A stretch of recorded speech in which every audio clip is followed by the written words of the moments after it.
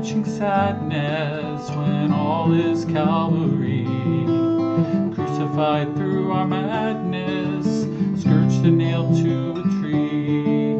Jesus walks the Emmaus road, and times our faith may stumble.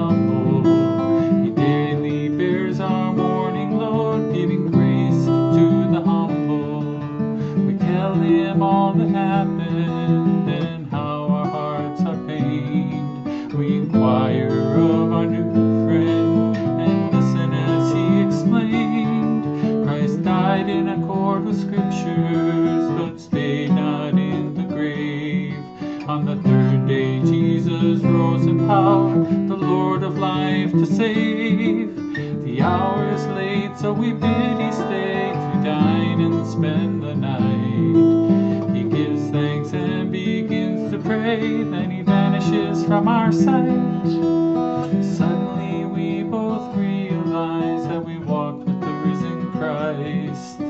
All the time he was disguised as we lent him our advice.